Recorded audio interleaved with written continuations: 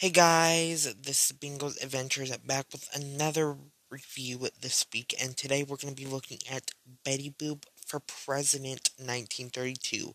And basically, this short is about the presidential campaign of 1932, um, where Betty Boop eh, goes against a person named Mr. Nobody. She's singing about wanting to become president. Uh, yeah, it's basically like come vote for me, but she like said that she wants to make the country better, which good for her, good for her. Um, and yeah, she basically uh uh tries to become president. I think I do vaguely remember this short. I vaguely remember it. It's probably some other short. Uh, but I do remember her something about fixing criminals and stuff. So I don't know if it's that kind of sh- if it's a, a short that I remember, if it's this short. I'm not 100% exactly sure. But I think I do vaguely remember this. Um, so yeah, basically Betty is saying that she wants to become president. Um, she like imitates different president, uh, different um, people, of like different faces and stuff then.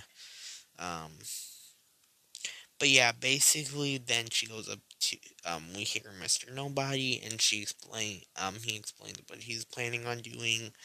Um, then we come back to Betty Boop. Um, and yeah, basically Betty Boop. Um, we get to actually see some some stuff.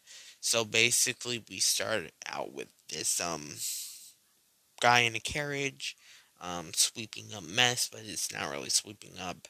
Um, and then we have this bus guy coming up and being like, "Hey, you're here." He like rides the he uh, rides his little train or street bus against the building and I'm like that's gonna break the building but no it's cartoon logic it's cartoon logic they can do whatever they want.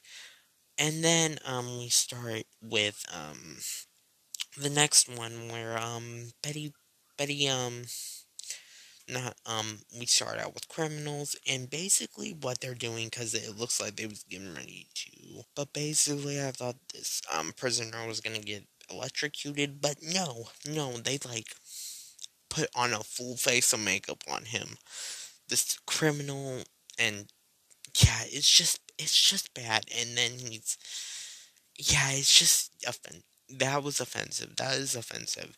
I don't care what people say. That is an offensive way of showing. I don't really want to say it, but they like basically. I don't know the right words to say it.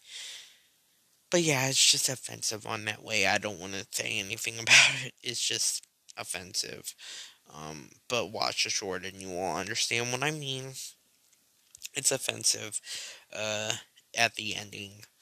And then basic, basically, Betty wins and she's president. She's president in the Betty Boop universe um, for right now. Because in the next short, I don't think she's going to be president. But if she was, I think it's a little bit early for her to be president, to be honest, because we come on, we like she has a whole lot of shorts. I understand if it's like one of the last shorts she becomes president president, but no. Um she becomes president in this short. Um which yeah, I'm gonna note that is that she's technically president now in her universe. But yeah, thank you guys for watching. I will see you guys next time with the next two Betty Boop shorts. See you guys next week. Bye.